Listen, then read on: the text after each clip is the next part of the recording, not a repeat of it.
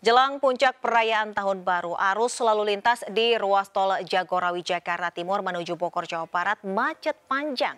Warga memanfaatkan libur Tahun Baru untuk berwisata ke kawasan Bogor. Arus lalu lintas di ruas tol Jagorawi Jakarta Timur Jumat malam padat.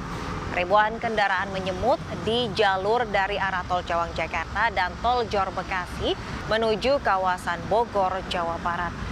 Momen libur panjang dan pencabutan status PPKM rupanya dimanfaatkan warga pergi keluar kota khususnya untuk merayakan malam pergantian tahun di kawasan Puncak Bogor. Dua tahun terakhir perayaan tahun baru ditiadakan lantaran adanya pandemi COVID-19 dan penerapan PPKM.